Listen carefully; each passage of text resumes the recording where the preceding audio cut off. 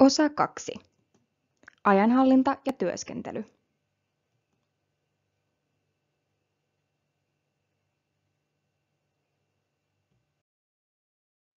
Työn luokittelu ja ajoitus.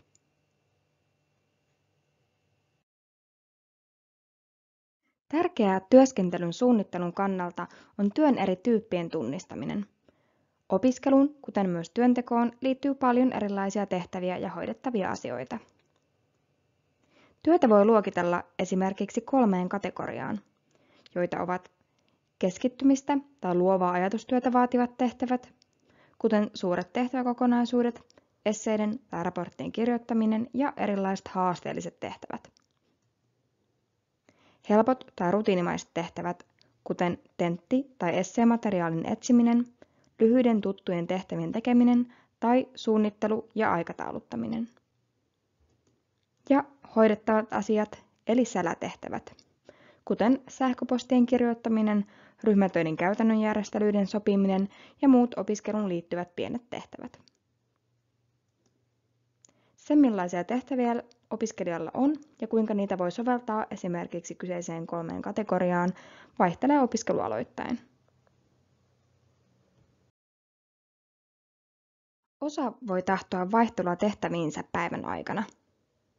Kuitenkin paljon keskittymistä jo luovutta vaativien tehtävien välillä ei kannata vuorotella yhden työskentelypäivän aikana, sillä haasteelliseen tai uuteen kokonaisuuteen orientoituminen vie aina aikaa. Joskus voi olla hyvä keskittyä yhteen aiheeseen liittyviin tehtäviin yhden päivän aikana, kuten yhden opintojakson tehtäviin. Tai vaihtoehtoisesti tehdä yhden opintojakson isompaa, keskittymistä vaativaa tehtävää ja lisäksi toisen opintojakson sälä- tai rutiinitehtäviä.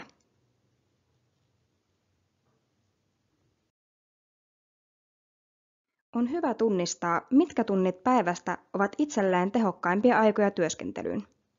Kun vireystila on parhaimmillaan, on sellaiseen aikaan päivästä hyvä varata kaikkein haasteellisimmat ja eniten keskittymistä vaativat tehtävät.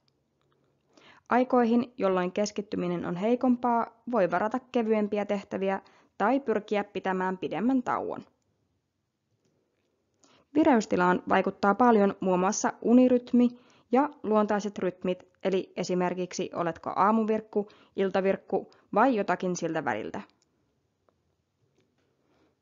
Opiskelijalla voi olla viikkoja, että läsnäoloa vaativaa opetusta ei ole. Tällöin voi olla täysi vapaus omaan aikatauluttamiseen. Ja se vapaus kannattaa käyttää vastuullisesti ja fiksusti. Pääsääntöisesti opiskeleva iltavirkku voikin nukkua aamulla myöhempään ja vastavuoroisesti opiskella pidemmälle iltaan, kunhan muistaa pyhittää myös ajan rauhoittumiselle.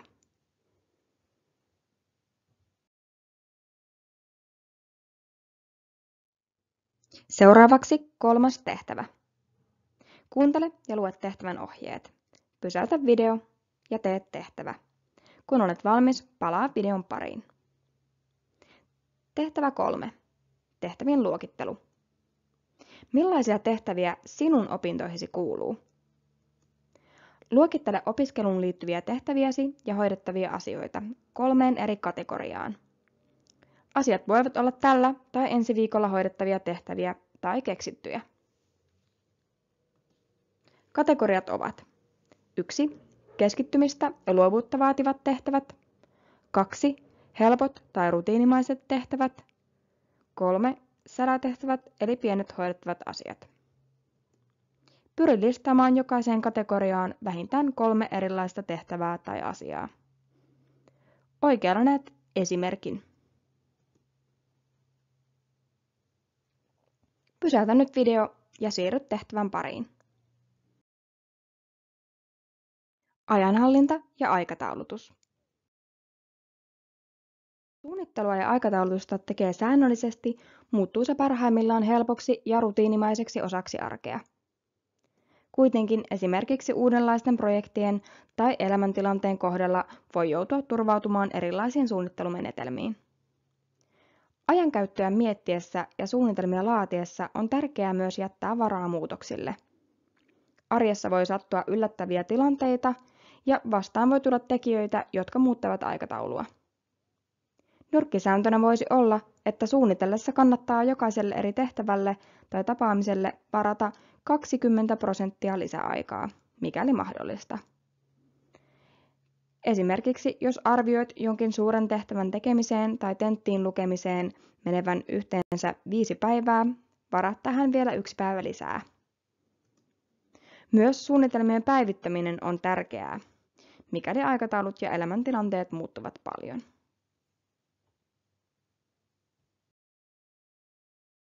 Vuosi ja lukukausi. Vuosisuunnitelma auttaa jäsentämään ajankäyttöä ja opintoja pitkällä tähtäimellä. Suunnitelma on hyvä olla kirjattuna ylhäällä. Opiskelijan vuosisuunnitelman tilalla tai ohessa voi olla myös lukukausisuunnitelma, joka laaditaan aina lukukauden alussa. Tähän suunnitelmaan on hyvä merkitä esimerkiksi uusien kurssien alku- ja loppumispäivät ja työharjoittelujaksot. Lukukausisuunnitelma voi auttaakin hahmottamaan kurssien aikatauluja paremmin ja esimerkiksi sitä, milloin päällekkäin on useampi kurssi. Suunnitelma auttaa myös hahmottamaan, kuinka muuta elämää voi aikatauluttaa yhteen opintojen kanssa. Viikkosuunnitelma ja lukujärjestys.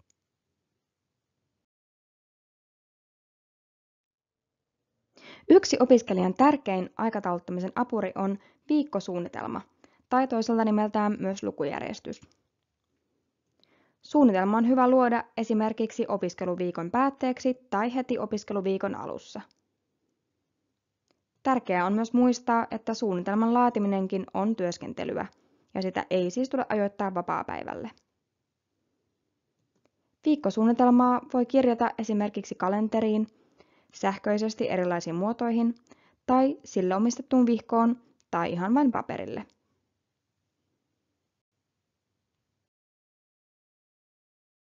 Viikkosuunnitelman voi toteuttaa monella erilaisella tavalla. Suunnitelmaan voi aikatauluttaa niin arjen kuin opiskelun yksityiskohtia myöten tai esimerkiksi kirjata vain karkeasti menot ja opiskeluhetket. Yksi hyvä tapa on aloittaa merkitsemällä viikkosuunnitelmaan tapahtumat tai menot, joiden aikatauluun ei itse voi vaikuttaa. Tämän jälkeen on hyvä lisätä muut merkinnät, joita tahtoo suunnitelmaan kirjata, kuten tehtävien teko, mahdolliset työpäivät, tauot ja vapaapäivät. Jos aikataulutus tuntuu rajoittavalta, voi kokeilla aikatauluttaa opiskeluun käytettävän ajan viikkosuunnitelmaan ja pitää vapaa-ajan mahdollisimman vapaana aikatauluista. Aikataulutuksen tukena on hyvä pitää tehtävälistaa. Lista voi auttaa aikataulun rakentamisessa. Etenkin jos opiskeluajat tahtoo merkitä vain suurpiirteisesti, on tehtävälista tärkeä. Listan asiat on hyvä pilkkoa tarpeeksi pieniin osiin, jotta tehtäviin vaadittavan työn hahmottaa tarkemmin.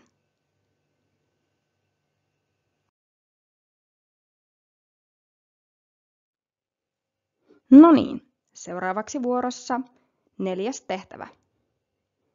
Kuuntele tehtävänanto, pysäytä video, tee tehtävä ja palaa videoon. Tehtävä 4. Aikataulutusharjoitus. Harjoittele tekemään viikkosuunnitelmaa luomalla kahden päivän aikataulu.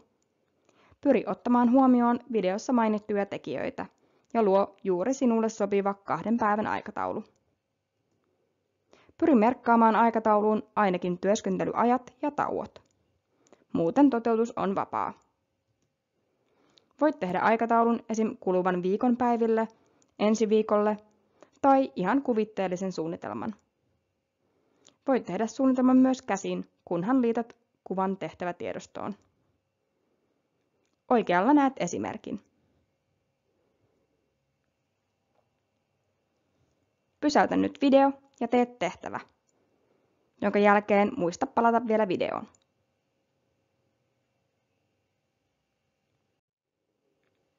Mahtava juttu! Olet saanut kaikki tehtävät tehtyä. Kuitenkin videossa on vielä muutaman dian verran tärkeää asiaa, joten jatketaan. Kalenteri. Kalenteri on hyvä käytännön apuväline opiskelussa ja asioiden muistamisessa. Menoja ja ajankohtia on turha yrittää pitää mielessä kuormittamassa muistia, mikäli ne voi laittaa ylös kalenteriin. Monelle kalenterin sujuva käyttö vaatii opettelua. Kalentereiden hyöty suunnittelussa ja muistamisessa tulee parhaiten esiin, kun kalentereita käytetään useampia samaan aikaan, tai kalenteria käytetään yhdessä esimerkiksi lukujärjestyksen tai tehtävälistojen kanssa.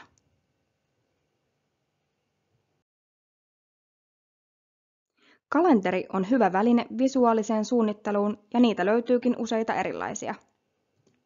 Sähköisiä kalentereita löytyy esimerkiksi lähes kaikista saatavilla olevista sähköpostipalveluista. Muita sähköisessä muodossa olevia kalentereita löytyy esimerkiksi älypuhelimista ja erillisinä internetistä ladattavina sovelluksina. XAMKin opiskelijoiden käytössä olevasta Learn-palvelusta löytyy myös kalenteri, johon osan kursseista tehtävien palautuspäivät tai tentit kirjautuvatkin automaattisesti ja ovat opiskelijoiden näkyvillä. Kyseiseen kalenteriin kuitenkin voi tehdä myös omia merkintöjä ja tapahtumia. Konkreettisia kalentereita on saatavilla niin erilaisina kirjasina kuin seinäkalentereina. Kalenterin voi myös suunnitella ja tehdä itse. Yksi suosituimmista itse tehdyistä kalenterijärjestelmistä onkin Bujo eli Bullet Journal-kalenteri. Kyseessä on loputtomiin muokattavissa oleva metodi, jossa luodaan itse oma kalenteri tyhjään tai esimerkiksi pistesivuilla varustettuun kirjaan. Bujossa voi yhdistää kalenterin ominaisuudet, erilaiset suunnitelmat, tehtävälistat ja muistiinpanot. Menetelmää kuvataankin sen kotisivuilla menetelmäksi, joka yhdistää rentouttavan luomisen ja asioiden organisoimisen. Keskittyminen ja työskentely. Opiskelua häiritseviä ilmiöitä.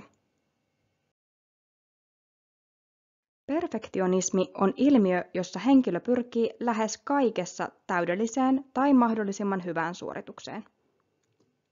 Perfektionistilla menee helposti liikaa aikaa asioiden turhaan hiomiseen ja tekeminen käy helposti raskaaksi ja stressaavaksi. Perfektionismi voi aiheuttaa myös asioiden tekemisen välttelyä ja lykkäämistä, sillä pahimmillaan omat tavoitteet ja vaatimukset täydellisyydestä tuntuvat niin kaukaisilta, että asia tuntuu etukäteen vaikealta ja raskaalta. Tärkeää ilmiön kannalta olisi ymmärtää, että läheskään kaikessa ei kannata pyrkiä parhaaseen mahdolliseen suoritukseen. Perfektionistin kannattaakin kiinnittää erityishuomiota realististen tavoitteiden asettamiseen, työskentelyn pilkkomiseen ja asettaa työskentelylleen selkeitä aikarajoja.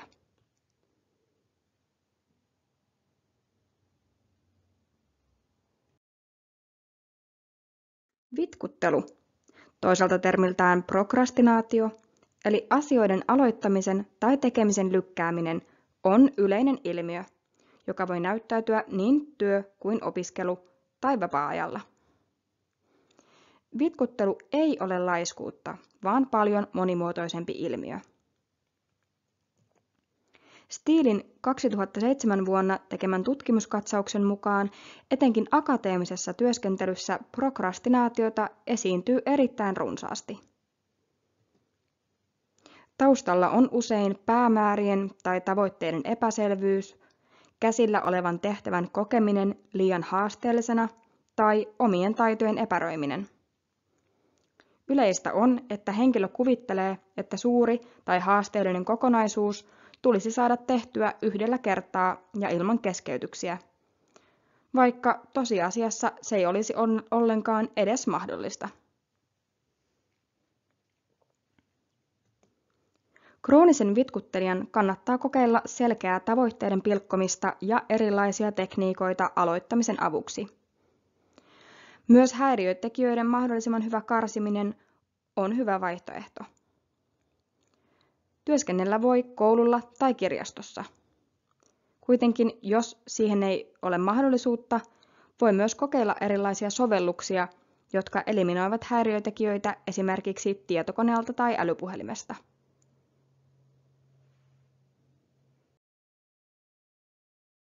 Aloittaminen.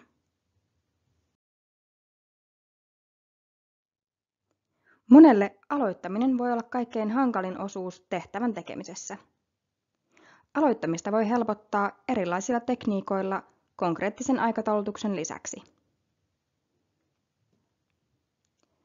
Jos kokee aloittamisen vaikeuksia, voi opiskelupäivän alkuun olla hyvä ajoittaa yksi tai muutama kaikkein helpoin tehtävä. Tällöin todennäköisemmin tarttuu toimeen ja aloittaa työskentelyn, kun tietää mitä tehdä ja kokee edessä olevan tehtävän helpoksi. Kun työskentely alkaa hyvin ja kokee saaneensa jotakin aikaiseksi, voi koko loppupäivän työskentely sujua paremmin.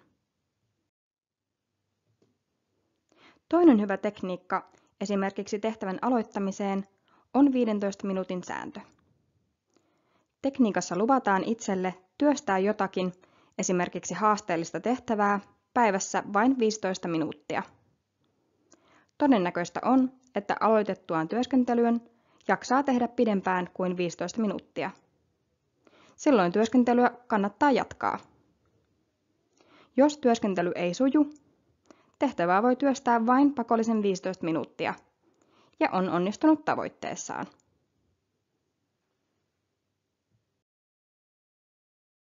Tekniikoita keskittymiseen. Lähes kaikille opiskelussa tulee joskus vastaan hankalia ja ikäviä tehtäviä, joiden aloittamista vältellään viimeiseen asti. Banjotekniikassa tarkoituksena on hoitaa yksi ikävä tai tylsä tehtävä päivässä. Te- tekniikan nimi juontuu englanninkielen sanoista bang a nasty job off. Tekniikassa on tarkoitus laatia lista meneillään olevista ikävistä tehtävistä ja hoitaa pikimmiten ensimmäinen pois alta. Se luo onnistumisen tunteen, joka saa sinut todennäköisemmin tarttumaan myös seuraaviin ikäviin tehtäviin. Tehtävät kannattaa aikatauluttaa normaalisti kalenteriin.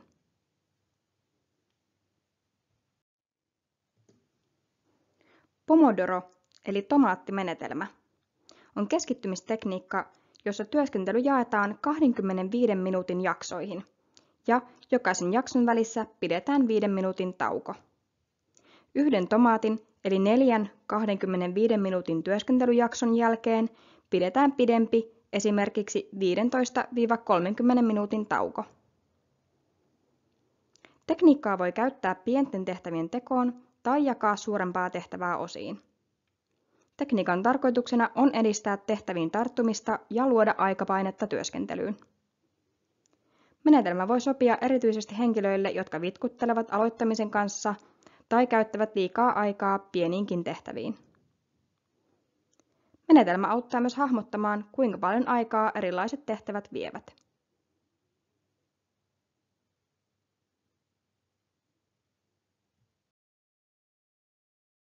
Älylaitteet opiskelun tukena.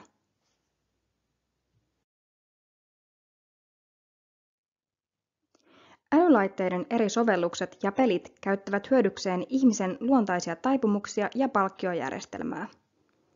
Monissa sovelluksissa on käytössä erilaisia mekanismeja, jotka kannustavat käyttäjää käyttämään sovellusta vain lisää ja lisää.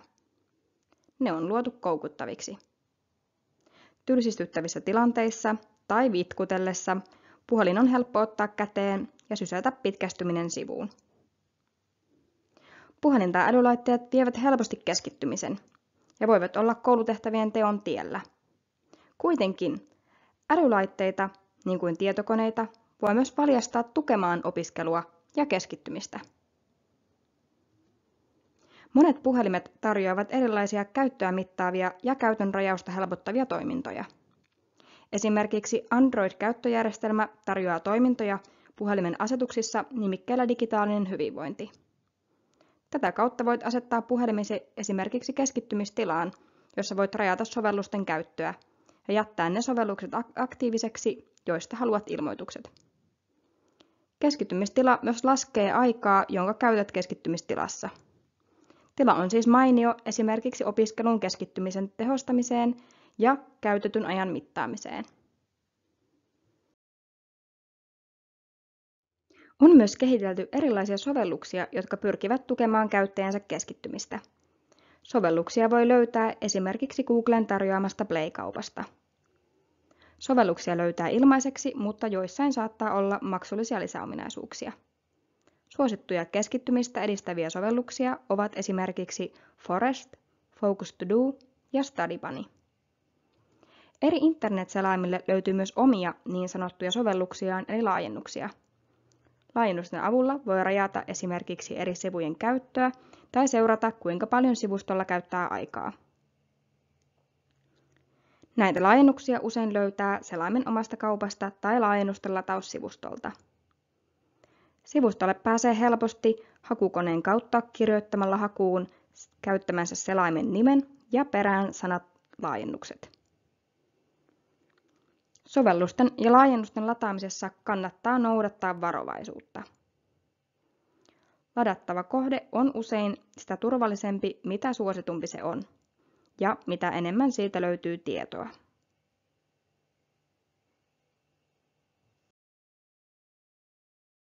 Hienoa, että katsoit videon loppuun asti. Toivottavasti video tarjosi sinulle uutta tietoa opiskelutaidoista ja hyödyllisiä vinkkejä kokeiltavaksi. Muista, että opiskelutaitojen kehittäminen vaatii harjoittelua. Rohkeutta uusien tekniikoiden kokeiluun ja kärsivällisyyttä uusien tapojen omaksumiseen.